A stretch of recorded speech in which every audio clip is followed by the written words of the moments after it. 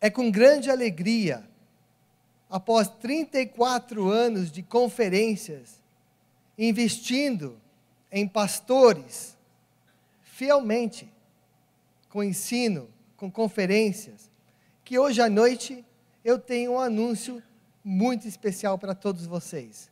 E vocês em casa também. O que é bom de conferências, todos nós sabemos. É o que? Certamente o ensino. Mas mais do que ensino, é a comunhão que todos vocês vivem, conhecendo aquele pastor vizinho, em outra cidade, que tem as mesmas dificuldades que você. É difícil ser pastor, nós sabemos isso. E como ministério, nós valorizamos investir em vocês, não só em literatura, mas também de promover uma conferência da quais vocês podem compartilhar juntos as dificuldades e celebrar juntos essas vitórias. Um fruto disso, irmãos, é o que eu queria falar para vocês hoje à noite. Hoje à noite é o início do que eu acho e eu creio vai ser um movimento no Brasil em outros países de fala portuguesa de pastores brasileiros que estão cansados com um evangelho falso, um evangelho de mentiras. E baseado naquelas verdades da reforma protestante, essa união em volta de ideias, que aqui nós celebramos, e o ano passado nós celebramos com os 500 anos da reforma. Aquelas amizades, aqueles pastores, decidiram fazer mais do que só ensinar juntos, mais do que só escrever num blog, separado de um ou de outro, mas de sim ter uma só voz então, hoje eu queria apresentar para vocês, aqui na Conferência Fiel, o que é o nosso sonho. O sonho do meu pai. Quando ele veio para o Brasil em 60, 52 e começou a editora Fiel em 66, junto com outros lá em São Paulo, como Russell Shedd, Bill Barkley, querendo promover a teologia bíblica reformada. O sonho destes homens foi que pastores como vocês poderiam se unir em volta dessas ideias e ter uma voz no seu país. E celebramos hoje essa voz. E hoje ela se manifestou numa colisão. Uma colisão para quê? Uma colisão pelo Evangelho, o verdadeiro Evangelho, baseado nas verdades não que mudam todo dia, mas no alicerce de um Deus grandioso. Hoje eu queria apresentar para vocês um pastor que vocês conhecem muito bem, que serve como seu presidente, pastor Franklin Ferreira. Pode vir introduzir esses irmãos e falar um pouco mais sobre o que é a colisão pelo Evangelho. Muito obrigado, Franklin.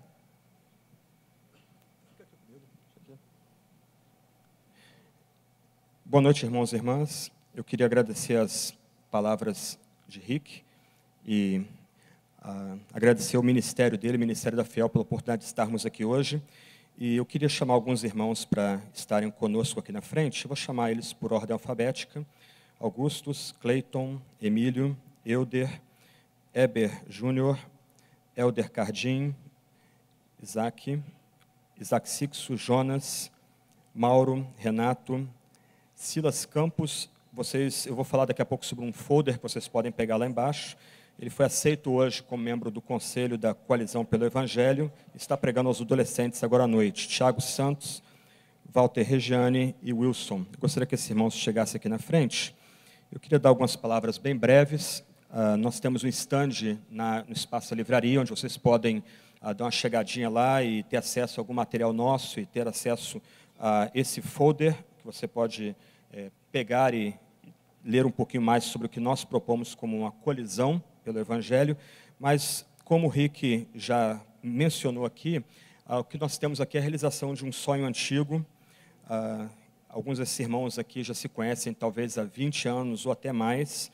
E esse sonho antigo era um sonho de reunir irmãos de denominações diferentes, ah, interessados em promover o Evangelho, e aqui a gente não pode errar ou não pode ser ambíguo, interessados em promover a mensagem de que Cristo Jesus morreu pelos nossos pecados, segundo a Escritura, foi sepultado e ressuscitou ao terceiro dia, segundo as Escrituras. E atrelado a isso também um anseio de promover uma confessionalidade sadia, bíblica e ancorada, como o Rick disse, nos valores da reforma que nós tanto celebramos e tanto amamos. Então, bem rapidamente, aqui em 2013, aqui mesmo na Fiel, Rick esteve presente conosco. Nós, vários de nós aqui tivemos um primeiro encontro com D. Carson, que naquela altura era o executivo do Gospel Coalition nos Estados Unidos, e foi um encontro onde ele pôde, pôde dar algumas sugestões e ideias de como nós poderíamos nos ah, nos reunir e nos unir como uma coalizão. E ano passado, em 2017, Tiago Santos e eu, nós fomos a, a coalizão, um grande encontro da coalizão evangélica em Indianápolis, nos Estados Unidos. Nós fomos convidados a participar da reunião do board deles. Tivemos alguns contatos bem proveitosos ali. Uh, no ano passado também, em outubro, como já foi mencionado aqui pelo irmão Rick, nós tivemos mais um encontro aqui na Fiel, um tempo de celebração dos 500 anos da Reforma.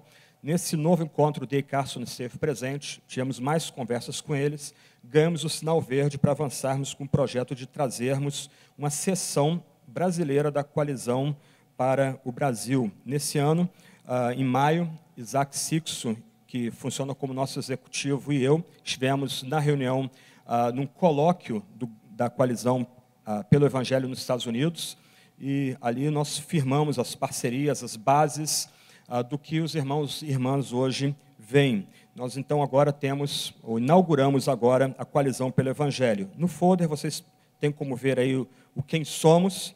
Né? Somos uma organização cristã, como mencionado, fruto de uma comunhão já de mais de uma década, talvez duas décadas entre alguns irmãos aqui, ansiando, sonhando com essa união de pastores, presbíteros, evangélicos e reformados para promover o evangelho segundo a Sagrada Escritura.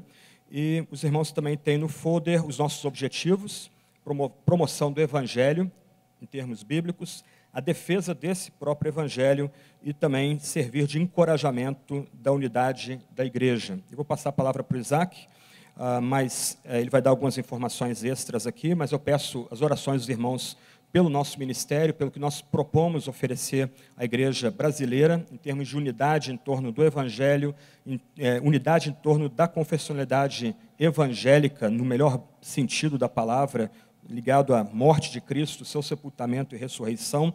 Também peço as orações dos irmãos e das irmãs para o que nós propomos. Então eu convido o Isaac a vir à frente, ele tem algumas palavras aqui para nos oferecer também. Boa noite, meus irmãos. Eu tenho ao privilégio, a incumbência de, enfim, formar você acerca de algumas iniciativas do, da coalizão pelo Evangelho e também dizer que você precisa anotar algumas coisas na sua agenda. Primeira coisa que você precisa anotar na sua agenda é que nos dias 27 e 28 de fevereiro de 2019, nós vamos promover um evento em parceria com o Ministério Fiel, com a, com, em parceria com o Desiring God Ministries, um encontro com o pastor John Piper, tá? E esse encontro vai acontecer em dois dias, em dois lugares diferentes em São Paulo. Primeiro vai acontecer no dia 27, ah, numa quarta-feira, ah, antes do carnaval, nós vamos ter um encontro para pastores e líderes, ah, voltado para pastores e líderes. Então, por favor, ponha na sua agenda. E nós vamos ter um tempo de perguntas e respostas. O, o pastor John Piper ele quer conversar com você. Então, Faça sua inscrição no nosso stand, procure essas informações acerca desse evento. Eu tenho certeza que você, a líder, você vai ser privilegiado por estar ali naquele evento, podendo mandar perguntas para o pastor John Piper. É a última vez que ele vai estar no Brasil, então eu tenho certeza que você vai a, ter todo o interesse de estar conosco. No dia 28, nós temos também um evento com o pastor John Piper e pregação também do reverendo Augustus Nicodemos.